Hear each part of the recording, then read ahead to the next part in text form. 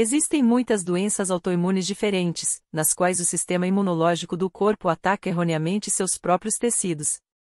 Aqui estão 10 exemplos comuns de doenças autoimunes.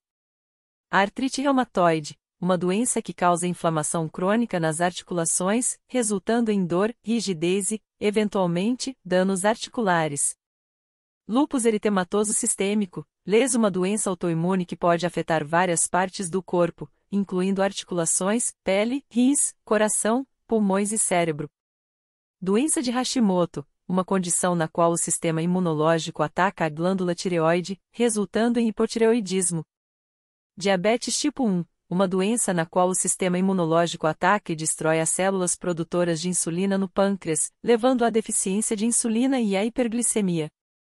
Doença celíaca, uma condição na qual o sistema imunológico reage de forma normal ao glúten, uma proteína encontrada no trigo, cevada e centeio, danificando o revestimento do intestino delgado.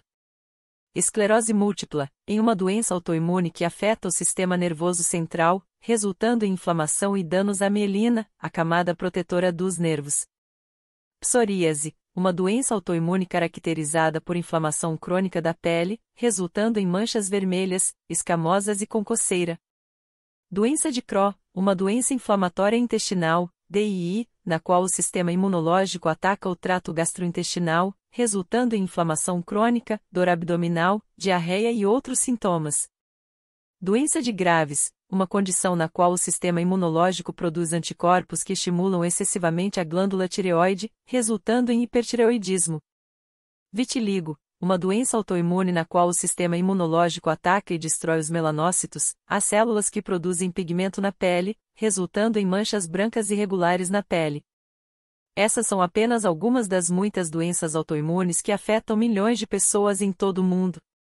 É importante reconhecer os sintomas precocemente e procurar atendimento médico para um diagnóstico e tratamento adequados.